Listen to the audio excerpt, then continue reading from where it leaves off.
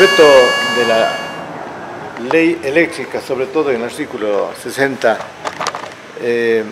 conlleva a que los cuerpos de bomberos del país ya no podremos eh, percibir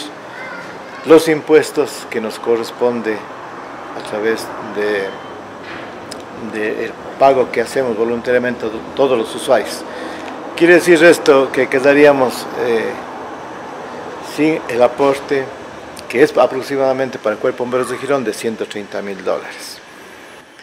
No sé si el municipio de Girón estaría en condiciones de absorber,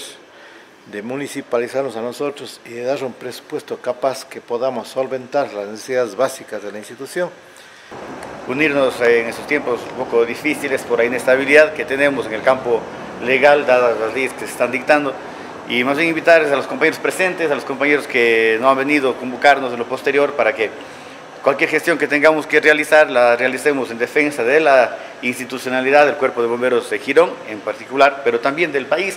porque es lo que queremos. Queremos que, como dijo el coronel antes, eh, no se pierda la independencia, la autonomía, no se pierda eh, la libertad que tenemos para trabajar, claro, con ciertos paramédicos también,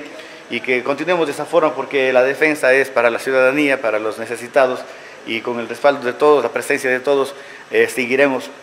en esa línea. Por lo tanto, queremos unirnos cada día más en ese sentido y defender la institucionalidad de los cuerpos de bomberos del país, repito, para que eh, las leyes que se dicten sean en beneficio y no en perjuicio de nuestra institución. Ah, muchas, mucho de lo que aquí existe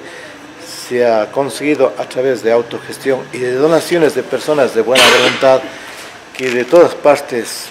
del mundo, yo diría, ecuatorianos, han donado aunque sea pequeñas cosas y por eso estamos en buenas condiciones.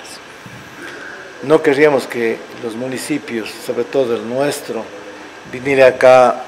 a implantar oficinas de la municipalidad aquí o que nuestros vehículos, como ya se pretende utilizarlos en otras actividades, nosotros somos respetuosos de la ley de defensa contra incendios, donde los implementos son utilizados para los fines propuestos. Eso hace que nosotros sigamos luchando y peleando y vamos a unirnos más.